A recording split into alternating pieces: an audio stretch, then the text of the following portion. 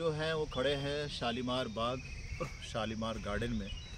ये शालीमार बाग जो आप देख पा रहे हैं, ये शालीमार बाग कश्मीर की घाटियों में है। कश्मीर की घाटी, valley of Kashmir, well of Kashmir, जो कि हम सब जानते हैं कि पीर पंजाल और जास्कर माउंटेन रेंज के बीच में है। कश्मीर की घाटी, उसी कश्मीर की वादियों में शालीमार बाग है।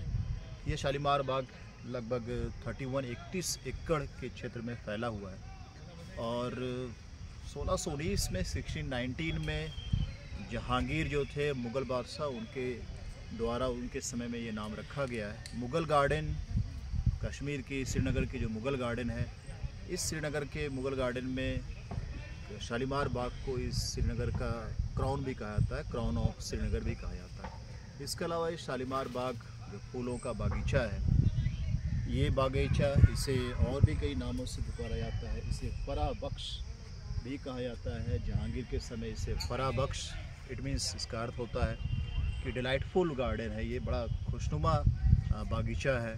फराबक्स के अलावा शाहजहाँ के समय 1930 1631 में इसका नाम जो है वो फैज़ बख्श भी कहा गया, जिसका भी मीनिंग वही होता है कि ये रमणीय है, बड़ा मनोरमीय, मनोरम स्थान है।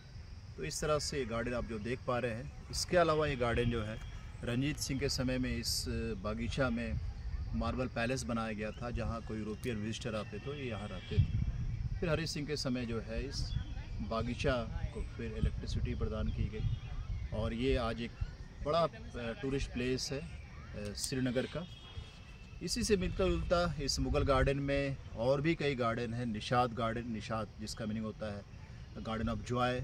जिस निषाद गार्डन की, निषाद बागीचा जो है, जिसकी स्थापना, जिसको बनाया गया था, शाहजहाँ के समय 1633 में 1633 में, नूरजहाँ का जो बड़ा भाई था, आसिफ आसिफ खां के द्वारा निषाद बागीचा को बनाया गया था। तो इस प्रकार मैंने, इसके अलावा चश्मे शाही भी श्रीनगर में है। तो ये सब बहुत इंपॉर्टेंट हो सकता है, आने वाले किसी भी एग्जामिनेशन के पॉइंट ऑफ़ व्यू से और जानकारी के लिए भी। तो ये कश्मीर की घाटियों से मैं विकास श्रीवास्तव। आप सभी को ये जानकारी दे रहा हूँ घूमने के साथ साथ ये जानकारी भी आपके साथ शेयर कर रहा हूँ। थैंक यू धन्यवाद।